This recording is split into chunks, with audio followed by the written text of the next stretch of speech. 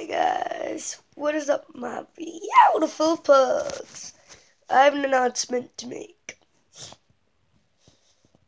The reason I wasn't filming a lot of videos that much is because I was at school. I was at school and I was busy with other stuff, so yeah.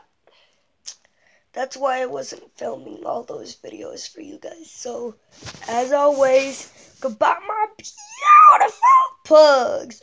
Peace.